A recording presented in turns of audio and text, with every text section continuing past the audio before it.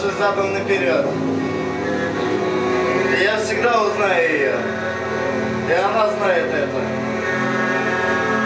Она всегда со мной.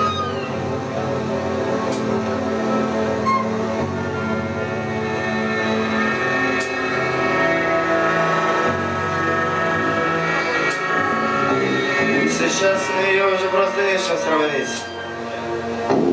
Она просто есть в каждом по этой вселенской шаманды. И в каждой складке на шортах. Или это складки на шортах.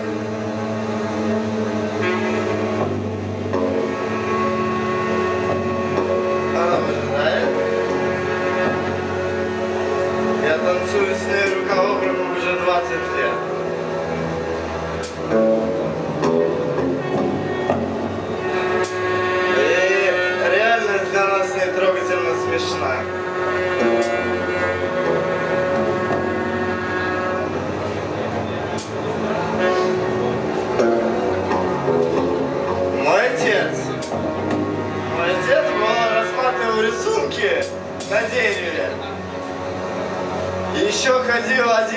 Вместе со мной искать разные рисунки на дереве. Когда я был маленький, еще совсем, он часто брал меня под руку, и мы шли, шли с ним по тропинке протоптанный еще годах 60-х местными лесозаготовщиками. Отец впадал в отрешенное сумбулическое состояние и, держа меня за руку, ничего не замечая, шел, куда-то шел и искал место, где росли деревья. Это была, может быть, поляна, Каждый раз они были разные, но если ты туда приходишь, то это я помню точно, даже когда шел дождь, не падали на тебя, и там не шел дождь. Обычно он должен, долго ходил вокруг каждого дерева, выбирая, выбирая это нужное.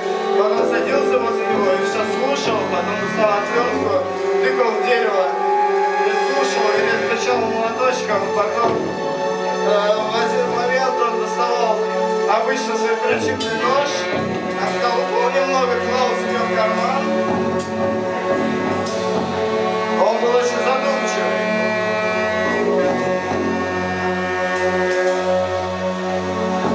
Потом, когда мы с обратно, он постепенно возвращал в себя свое нормальное состояние и постепенно начинал реагировать на окружающий мир.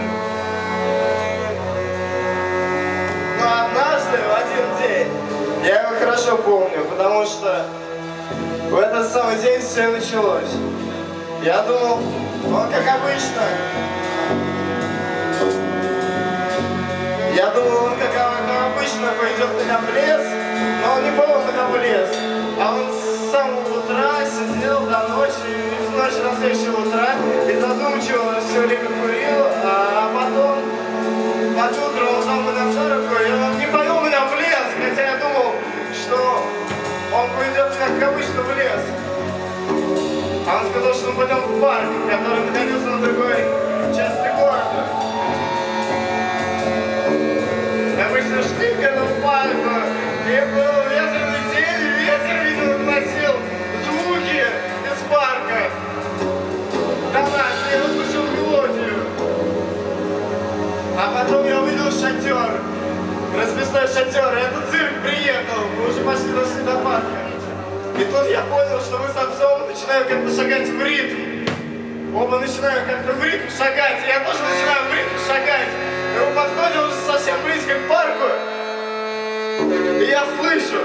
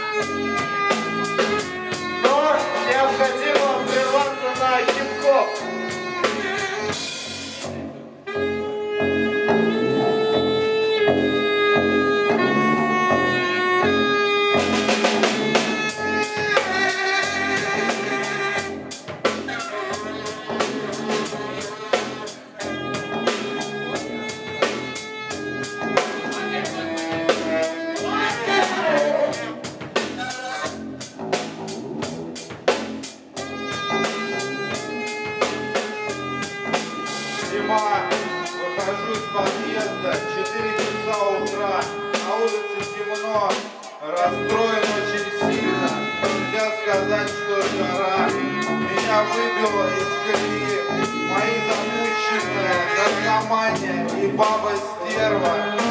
Да еще вдобавок смотрел фильм на компьютере, а он вылетел нахуй. У меня Windows 98. Я куплю травку и не считаю, сколько забил голов. Когда играю на коробке со школьницами, минут, безысходность,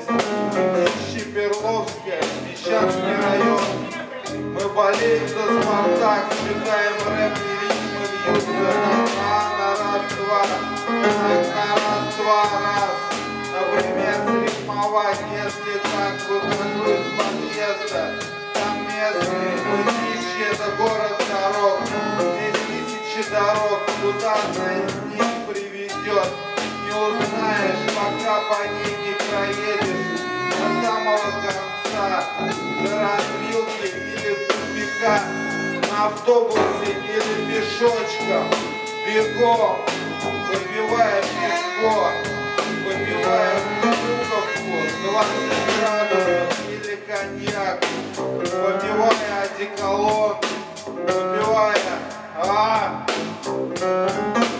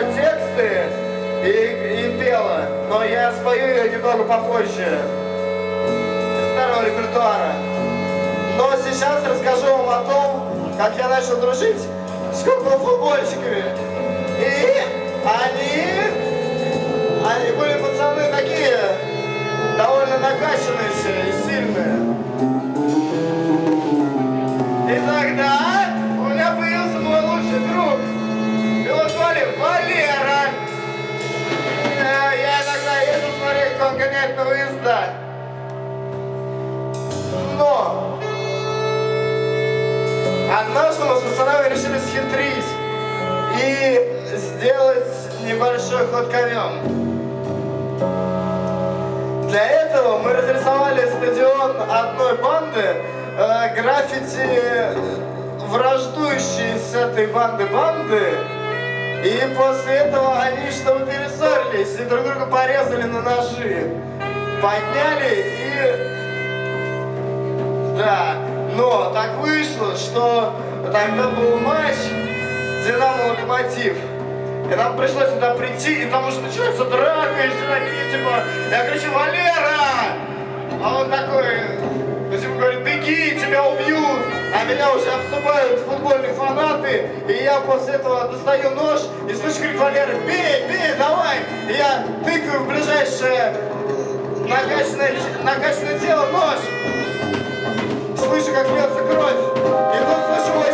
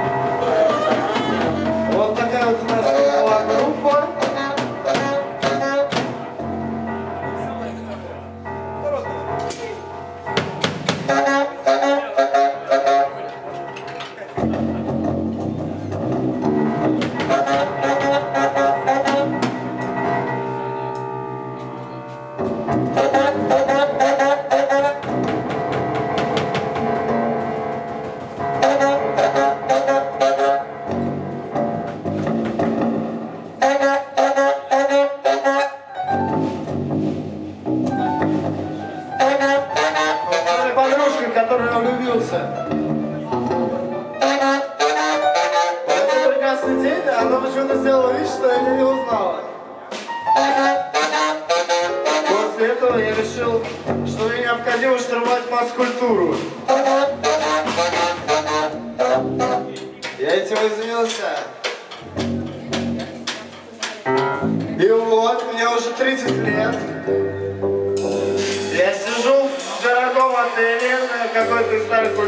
Парижа, на втором этаже. Меня все знают.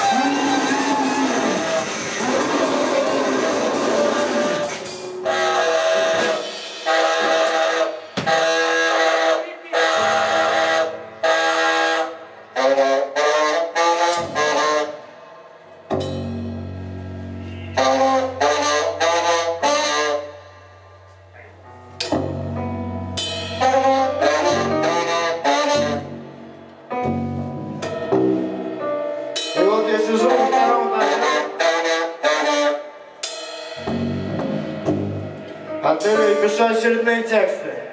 И тут сквозь открытую форточку Не, еще. Окей. Я слышу мелодию. Ту самую мелодию, которая преследовала меня всю жизнь. И я выбегаю из отеля, уже ночь, накрапывает легкий дождь. Я иду по улице на звук и вижу, что посреди широкой проезжей части стоит одинокая пианино. Старая, заплесневелая, но не все одинокая. Потому что на нем сидел бомж. Был весь такой грязный. Я подходил к нему все ближе и ближе. Думал о том, как положу руку ему на плечо, он обернется, я увижу, кто это. И вдруг мне очень захотелось. Я просто подумал о том, может быть, Валера не умер тогда. Может быть, может быть, он выжил, и это он и есть. И тогда все складывается, это мелодия, мой отец. Я подходил к нему все ближе и ближе. Становился все нерешительно, нерешительно. Мне так хотелось мне так хотелось, чтобы он повернулся, но может быть, он медленно зашел с ума, как эмигрировал в Париж, но все-таки выжил. Но я так и не решился, я так и не решился окликнуть его. Остаюсь в нескольких метрах от него. Постоял немного, потом развернулся и ушел в автомобиль. Но я могу попробовать по памяти воспроизвести вам примерно ту самую музыку, которую я услышал тогда. Потому что бомж не только играл на пианино, он еще и пел. Он прекрасно пел.